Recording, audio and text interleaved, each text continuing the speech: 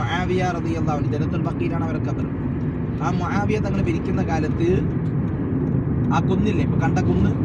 അതിന്റെ ഒരു ഭാഗം ഇടിഞ്ഞു പ്രളയത്തിൽ മഴ പെയ്തിട്ട് ഇടിഞ്ഞു. ഇടിഞ്ഞപ്പോ രണ്ട് കബർ പുറത്തേക്ക് വന്നു. രണ്ട് കബർ പുറത്തേക്ക്. വന്നു. ഈ വിവരം ഗവർണറെ അറിയിച്ചു. മർവാൻ ബിൻ ഹക്കമാണ് മദീനയിലെ അന്നത്തെ ഗവർണർ. ഗവർണർ വന്നു. ഇതായത് ഇവിടെ നാല് ആൾക്കാരുണ്ട്. ഇതിൽ ആരുടേതാണെന്ന് പരിശോധിക്കണ്ടേ? പരിശോധിച്ചു. പരിശോധിച്ചപ്പോൾ ഒരു ജനാസ കണ്ടത് ഒരു മാറ്റവും സംഭവിച്ചിട്ടില്ല. അതാണ് നമ്മൾ മനസ്സിലാക്കേണ്ടത്. നാൽപ്പത്തിമൂന്ന് വർഷമായിട്ടും അവരുടെ കഫമുടക്ക് പോലും ഒരു പോറൽ പോലും ഏറ്റിട്ടില്ല. അന്ന് മറവ് ചെയ്തതുപോലെ അവരുടെ ശരീരത്തിൽ മുറിവൊക്കെ പച്ചയായിട്ട് തന്നെ ഉണങ്ങിയിട്ടില്ല എന്ന് പറഞ്ഞത് രക്തം കണ്ടിരുന്നു എന്ന് പറഞ്ഞത് മഹാനായ മിസ്ബിനുമേർ അവന്റെ കാലിൽ രക്തം കണ്ടിരുന്നു. രക്തത്തിന്റെ ആ പച്ച രക്തം ഉണങ്ങാത്ത രക്തം. നിങ്ങൾ ചിന്തിച്ചു ഒരു പോറലും സംഭവിക്കാതെ അങ്ങനെ കിടക്കുകയാണ്. നാളെ ശ്രോതാക്കൾ അതേ രൂപത്തിലാണ് മാഷറിയിലേക്കും വരിക. എങ്ങനെയാണ് അവർ മറവ് ചെയ്യപ്പെട്ടത്? അതേ രൂപത്തിൽ. കൈയില്ലാതെയാണെങ്കിൽ കൈയില്ല തലയില്ലാതെയാണെങ്കിൽ തലയില്ലാതെ അപ്പൊ അവർക്കൊക്കെ പറയാം. എന്ത് ജീനിന് വേണ്ടി കൊടുത്തു എന്ന്. കയ്യും കാലും കൊടുത്തു എന്ന് പറയാം. മനസ്സിലായില്ല? കാരണം മാഷറിലെത്തി അവർക്ക് എന്തില്ല? കയ്യില്ല കൈ എവിടെ? ദീനിന് വേണ്ടി കൊടുത്തു. ശത്രുക്കൾ വെട്ടിമുറിച്ച് മാറ്റി. അത് പറയാം ഒരിക്കൽ ഇരിക്കട്ടെ. നമ്മളെന്താ വിഷയം പറഞ്ഞ്? പരിശോധിച്ചപ്പോൾ ഒരു ജനാസ കണ്ടത് എങ്ങനെയാണ്? നെഞ്ചി പുലർത്തിയ രൂപത്തിൽ. നെഞ്ച് പുലർത്തിയ രൂപത്തിൽ. അപ്പോൾ അതാരുടേതാണ്? അതാരുടേതാണ്? ഹംസ റതി അള്ളാഹുനുവിന്റെ ഹംസ റതി അള്ളാഹു നെഞ്ചി പുലർത്തിയ കഥ പറഞ്ഞില്ലേ? അവരെല്ലാം.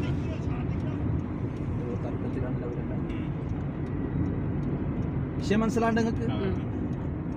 രണ്ട് ജനാസ ജബൽ റുമാത്ത് എന്ന് പറയുന്ന മല ഇടിഞ്ഞപ്പോൾ കണ്ടു എന്ന് പറഞ്ഞു അത് പരിശോധിക്കുകയാണ് ആരുടേത് എന്ന് അറിയാൻ വേണ്ടി. നാലാളുണ്ട്. ഇപ്പൊ ഇത് ആരുടേതാണ് ഒന്ന് കണ്ടത് നെഞ്ച് അപ്പൊ അതാരുടേതാണ്?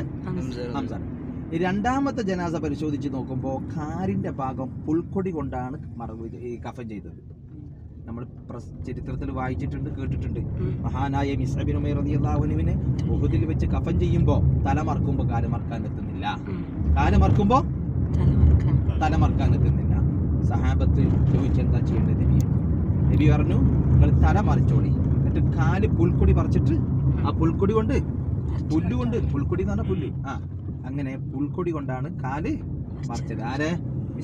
ഉമൈർ കാരണം? ദരിദ്രനാണ് മിസ്കീനാണ് ഏഹ് ഉടുതുണിക്ക് മറുതുണി ഇല്ല അങ്ങനെയാണ് മഹാനവൾ ജീവിച്ചത്. അപ്പൊ ഇത് ആരുതാന്ന് ബോധ്യപ്പെട്ട്? മിസ്സാബിന് ഉമേർ തങ്ങളതാന്ന് ബോധ്യപ്പെട്ടു. ഈ രണ്ട് ജനാസയും നേരത്തെ അറുപത്തി ആറ് ആളുകളെ വെച്ചില്ലേ? അറുപത്തഞ്ച്. ആ ഭാഗത്തേക്ക് പ്രത്യേകമായി മറവിച്ചു ഇപ്പൊ നമ്മൾ ആ പരിസരത്തേക്ക് പോയാൽ ആ മതിൽ കെട്ടിടത്തേക്ക് പോയാൽ രണ്ട് കബർ ഇങ്ങനെ കാണാം. ഒന്ന് ഹംസ റതിയുള്ളതാണ് ഒന്ന് മിസ്സാബിൻ ഉമേർ റതിയുള്ളതാണ് പിന്നെ ആ അറ്റത്ത് വലിയൊരു കെട്ടുണ്ട്. ആ കെട്ടിലാണ് അറുപത്തഞ്ചോളം വരുന്ന അൻസാറുകൾ അറബി എന്ന തർക്കമുണ്ട്. ഇവിടെ തന്നെ ഈ അറുപത്തഞ്ചിന്റെ കൂടെ തന്നെയാണെന്ന് അഭിപ്രായമുണ്ട്. ഇപ്പം ഞാൻ നേരത്തെ കാണിച്ചെന്ന ആ മതിൽ കെട്ടിലാണ് അഭിപ്രായം. അങ്ങനെ ടോട്ടൽ എഴുപതോളം സ്വഹാബികൾ ശോഹതാക്കൾ നമുക്ക് വേണ്ടി ദീനിന് വേണ്ടി ഒതിരി രക്തസാക്ഷികളായിട്ടുണ്ട്. ഒരടുത്തേക്ക് ഇപ്പം നമ്മൾ പോയത്. മഹാനായ ഉസ്മാൻ ബിൻ അഫാർ അള്ളാഹുനുവിന്റെ കാരക്കത്തോട്ടാണ് നമ്മൾ ഈ കാണുന്നത്. മദീനയിലെ ഏറ്റവും വലിയ വക്കുപ്പ് സ്വത്ത്. ആകുമ്പോൾ ഇവിടെ പത്ത് കുടുംബ കുടുംബം ഇവിടെ ഉണ്ട്. ആര്? ദൂതന്മാര്. പന്ത്രണ്ടല്ലേ? പത്ത് കുടുംബം ഇവിടെ ജീവിക്കുന്നുണ്ട്. പന്ത്രണ്ടിൽ പത്തുണ്ട്. രണ്ട് കുടുംബത്തിനെ മദീനത്ത് നിന്ന് പുറത്താക്കി അത് പുറത്താക്കിയത് റസൂറത മാത്രം എടുത്ത തീരുമാനമല്ല. ഈ പത്ത് കുടുംബം കൂടി എടുത്ത തീരുമാനം. കാരണം എന്താ? നമ്മളിപ്പോ ഇന്ത്യത്തല്ലേ ഇന്ത്യയിലല്ലേ താമസിക്കുന്നത്? നമ്മളെ ഇന്ത്യനെ ഇപ്പോ നിന്ന് ഭീകരവാദികൾ വന്നിട്ട് ആക്രമിച്ചാൽ നമ്മൾ ആരുടെ കൂടെ നിൽക്കും ഇന്ത്യന്റെ കൂടെ നിൽക്കൂലേ അല്ലേ? കാരണം നമ്മുടെ രാജ്യസ്നേഹം നമ്മൾ ജീവിക്കുന്ന രാജ്യത്തിന്റെ കൂടെ നമുക്ക് കൂറുവേണ്ടത്? എന്നതുപോലെ ജീവിക്കുന്ന നാടിനെ എല്ലാ നിലക്കും ഭീഷണിയാണ് ഈ രണ്ട് കുടുംബം. ശത്രുക്കൾക്ക് വെറ്റിക്കൊടുക്കുക ചാരപ്പണി എടുക്കുക ഉള്ളിൽ കൂടെ ശത്രുക്കളെ സഹായിക്കുക. അപ്പൊ ഈ പത്ത് കുടുംബം ആരുടെ കൂടെ നിന്ന്? കുത്തിനബിന്റെ കൂടെ നിന്ന് അവരെ പുറത്താക്കാൻ. വിഷയം മനസ്സിലായിട്ടില്ല. മനസ്സിലായി. ആ ഇത് ഞാൻ പറയുന്നത് എന്താ അറിയോ ഇന്ന് നമ്മുടെ ഇന്ത്യ ഭരിക്കുന്നത് ആരാ? മോഡിയാണ്. ഓരെന്താ പറയുന്നത്? എൻ ഐ സി മറ്റേ ആർ ഐ സി ഒക്കെ കൊണ്ടുവന്നപ്പോൾ എന്താ പറഞ്ഞത് ഒരു മുഹമ്മദ് നബി മക്ക വിട്ട് മദീനയിൽ പോയപ്പോൾ അന്ന് ഞങ്ങൾ ആൾക്കാർ അവിടെ ജൂതന്മാരാ കൂടുതലുണ്ടായത്. അവരെ മുഴുവനും അവിടുന്ന് അടി ഒട്ടിപ്പിച്ച് പുറത്താക്കി. എന്നിട്ട് ആ രാജ്യം പിടിച്ചെടുത്ത്. എന്നിട്ട് മുസ്ലിം രാജ്യമാക്കി. ഇതുപോലെ ഇന്നിപ്പോൾ ഞങ്ങളുടെ കയ്യിലാണ് ഭരണം. അപ്പം ഞങ്ങൾക്ക് എന്ത് ചെയ്യാം മുസ്ലിമീങ്ങളെ പുറത്താക്കാം. എന്നിട്ട് ഞങ്ങൾക്ക് ഞങ്ങളുടെ രാജ്യമാക്കിയിട്ട് ഞങ്ങൾക്ക് ഇവിടെ ജീവിക്കാം. ഞങ്ങൾക്ക് പുറത്താക്കാം. കാരണം മുഹമ്മദ് നബി ഇങ്ങനെ ചെയ്തിട്ടുണ്ട്. ഇതാണ് ഇന്നത്തെ പ്രസംഗം. ആർ എസ് എസ് ആരെ സത്യത്തിൽ അങ്ങനെയാണോ? പറഞ്ഞു കൊടുക്കണം.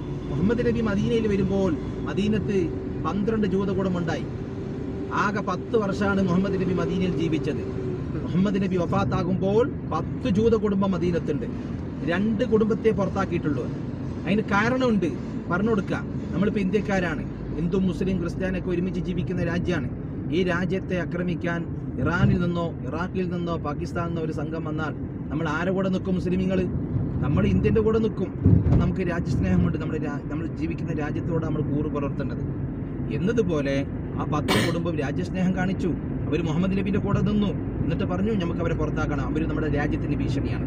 നമ്മുടെ ശത്രുക്കൾക്ക് ചാരപ്പണി എടുത്തു കൊടുക്കുന്നു ഒറ്റിക്കൊടുക്കുന്നു. അതുകൊണ്ട് അവരെ പുറത്താക്കണം എന്ന് മുഹമ്മദ് നബിയോട് ആവശ്യപ്പെടുകയാണ്. ആര്? ഈ പത്ത് കുടുംബവും. അങ്ങനെയാണ് ഈ രണ്ട് കുടുംബത്തെ മാത്രം പുറത്താക്കിയത്. അതിൽപ്പെട്ട ഒരു യഹൂദിയുടെ തോട്ടായിരുന്നു ആ തോട്ടം. ഇപ്പൊ നമ്മൾ കണ്ട ഉസ്മാൻ നിങ്ങളെ തോട്ടം. ഇദ്ദേഹത്തിന്റെ പണി എന്താ? ആ തോട്ടത്തിലെ കിണറിലെ വെള്ളവും കാരക്കൊക്കെ പൈസക്ക് വിറ്റ് ജീവിക്കുക. മുസ്ലിമീങ്ങൾക്ക് കൊടുക്കൂല. അദ്ദേഹത്തിന്റെ ഗോത്രത്തിൽ പെടാത്ത ഹിന്ദുക്കൾ യഹൂദികൾക്കും കൊടുക്കൂല. അദ്ദേഹത്തിന്റെ ആളുകൾക്ക് മാത്രം കൊടുക്കുക. വിവേചനം. മഹാനായ നബി തങ്ങൾ ഇവിടെ വന്നപ്പോൾ ഈ വിഷയം അറിഞ്ഞു മാതങ്ങൾ അയച്ചു. എന്നിട്ട് പറഞ്ഞു ഇതൊരിക്കലും ശരിയല്ല. കൊടുക്കുന്നുണ്ടെങ്കിൽ എല്ലാവർക്കും കൊടുക്കണം. വെറുതെ അല്ലല്ലോ കാശ് വാങ്ങിക്കോ. ഏ? നിനക്ക് പറ്റിയ ആൾക്ക് മാത്രം കൊടുക്കുക നിന്റെ ആൾക്കാർക്ക് മാത്രം ഇവിടെ പറ്റൂല ഇനി അത് ഇവിടെ നടക്കൂല. ഇത്രയും കാലം നടന്നിരുന്നു ഇന്നത് നടക്കൂല എന്ന് പറഞ്ഞു. അങ്ങനെ അദ്ദേഹം കൊടുക്കാൻ നിർബന്ധിതനായി. കാശിന് പിന്നെ എല്ലാവരും കൊടുക്കാൻ തുടങ്ങി. ആ കാശ് ആര് ഏറ്റെടുത്തു? മാനങ്ങൾ ഏറ്റെടുത്തു. കണക്ക് എഴുതി വെച്ചോ. കണക്ക്? കണക്ക്? എഴുതി വെച്ചോ. നിന്റെ ആളുകൾക്ക് കൊടുക്കുന്നത് നീ നിന്റെ വക. അല്ലാത്തവര് അത് യഹൂദി ആയാലും മുസ്ലിം ആയാലും ആരായാലും എഴുതി വെച്ചോ. ഞാൻ തരാം അതിന്റെ കാശ് എന്ന് പറഞ്ഞു കൊടുത്തു. ഏതാനും ചില മാസങ്ങൾ. പിന്നീട് ഈ രണ്ട് കുടുംബത്തെ ഇവിടുന്ന് പുറത്താക്കിയില്ലേ. ആ സമയത്ത് ഇവനും ഇവിടുന്ന് പോകേണ്ടി വന്നു. ഉസ്മാൻ തങ്ങൾ പോയി ആ തോട്ടം കച്ചവടമാക്കി അദ്ദേഹത്തിന് കൊടുക്കേണ്ടത് കൊടുത്ത് ആ വാങ്ങി വക്കുഫ് ചെയ്തു. വക്കുഫ് ചെയ്താൽ പിന്നെ ഒരാളെ സമ്മതം വേണ്ട. ആർക്കും ഏത് സമയത്തും കയറി വെള്ളമെടുക്കാം കാരക്ക പറിക്കാം തിന്നാം. അവിടെ ഒരു നിബന്ധനയില്ല. മുസ്ലിങ്ങൾക്ക് മാത്രമേ പാടുള്ളൂ എന്നുള്ള നിബന്ധന വെച്ചിട്ടില്ല. ഈ പത്ത് കുടുംബത്തിൽപ്പെട്ട ജൂതന്മാരും ആ കിണറിലെ വെള്ളമെടുത്ത് കുടിച്ചിട്ടുണ്ട്. കാരൊക്കെ പറിച്ച്? നിന്നിട്ടുണ്ട് തടഞ്ഞിട്ടില്ല. ഒരു നയാ കാശ് വാങ്ങിയിട്ടില്ല. ആ വക്കുപ്പ് സ്വത്ത് അവർക്ക് കൂടിയും ഹലാലാക്കി കൊടുത്തു ഇതാണ് ഇസ്ലാം. ഇത് നമ്മൾ പറയണം. പത്തഹുകാരാ പറയണം പ്രസംഗത്തിൽ. നല്ലൊരു മാറ്ററാണ് ആ. അതെന്ന് പറഞ്ഞാൽ പല ആളുകൾ പോകും അത് പറിച്ച് ഇത് പറിച്ച് നമ്മൾ കാരണമാണ് അടച്ചിടുന്നത്. വരുന്ന ആളുകൾ കണ്ടുപോകലല്ല നമ്മളിപ്പോൾ കണ്ടുപോകും പല രാജ്യക്കാരോട് വരുന്നതാണ്. ഇപ്പൊ ബാക്കി പോയിട്ട് കല്ലും മണ്ണെടുത്ത് പോകുന്നില്ലേ? നമ്മൾ അതിക്രമം കൊണ്ടാണ് സന്ദർശനങ്ങൾ പല സ്ഥലത്തും അടക്കപ്പെട്ടത്. അങ്ങനെ ഉസ്മാൻ ബിൻ അഫാൻ തങ്ങൾ ആ കിണർ വാങ്ങി വിപുലീകരിച്ച് നാല് ഭാഗത്തുനിന്ന് വെള്ളം കോരാനുള്ള സൗകര്യം ചെയ്ത് എല്ലാവർക്കും സൗജന്യമായിട്ട് അതീനില്ലാതെ ആദ്യത്തെ ഉസ്മാൻ തങ്ങളെ റസൂൾ അഭിനന്ദിച്ചു. ഉസ്മാൻ തങ്ങളെ സമ്പത്തിന് വർക്കത്തിന് വേണ്ടി ദ്വായ ചെയ്തു. അതുകൊണ്ട് തന്നെ വലിയ സമ്പത്ത് അള്ളാഹു ആർക്ക് കൊടുത്തു? ഉസ്മാൻ തങ്ങളോട് വലിയ പ്രിയമായിരുന്നു റസൂർദാക്ക് അതുകൊണ്ടാണ് ആദ്യത്തെ മോളെ റുക്കിയ ബീബിനെ കല്യാണം കഴിച്ചു കൊടുത്ത് റുക്കിയ ബീബി ഒഫാത്തായി രണ്ടാമത് ആരെ കെട്ടിച്ചു കൊടുത്ത്? ഉമ്മക്കുൾക്ക് ബീബിനെ കെട്ടിച്ചു കൊടുത്ത്. റസൂർദാന് രണ്ട് പെമ്മക്കളെ കെട്ടിയ ആളാണ് ആര്? ഉസ്മാൻ ബിൻ അഫാർ എന്നാണ് അതെന്തുകൊണ്ടാ? റസൂറുള്ളാക്ക് ഉസ്മാൻ തങ്ങളോടുള്ള ഒരു മഹബത്ത്. അപ്പൊ കുറച്ച് ആൾക്കാർ പറഞ്ഞു ആ എന്തേ? വേറെ ആരും കിട്ടായിട്ടാ രണ്ടാമത്തെ മോളെ അയാൾക്ക് തന്നെ കെട്ടിച്ചു കൊടുത്ത്. അപ്പൊ റസൂറുള്ള പറഞ്ഞൊരു മറുപടി ഉണ്ട് എന്താണ്? എനിക്ക് മൂന്നാമതൊരു മകളും കൂടി ഉണ്ടായിരുന്നുവെങ്കിൽ ആ മകൾ ഞാൻ ആർക്ക് കെട്ടിക്കും? ആ റസൂറത അപ്പം തന്നെ തുറന്നടിച്ച് മറുപടി കൊടുത്തു. അത്രക്കും ഇഷ്ടമാണ് ആർക്ക്. ഉസ്മാൻ തങ്ങൾ എന്താ കാരണം? തന്റെ സമ്പത്ത് മുഴുവനും ഇസ്ലാമിന് വേണ്ടി ചെലവഴിച്ചു. അതുകൊണ്ട്. അപ്പൊ ഖുർആൻ പ്രസക്തി നല്ല തിരക്കുണ്ടാകാൻ സാധ്യതയുണ്ട്. കാരണം നമ്മൾ ഒരുപാട് വൈകിയത് കൊണ്ട് അവിടെ ലൈനായി നിന്നിട്ട് പോകണം ഞാൻ നിങ്ങളുടെ ഉള്ളിലേക്ക് വരില്ല നമ്മൾ ഗൈഡാണ്. ഗൈഡിന് എപ്പോഴും പോകാൻ പറ്റില്ല മാസത്തിൽ ഒരിക്കൽ ഉള്ളിൽ കയറാൻ പറ്റുള്ളൂ.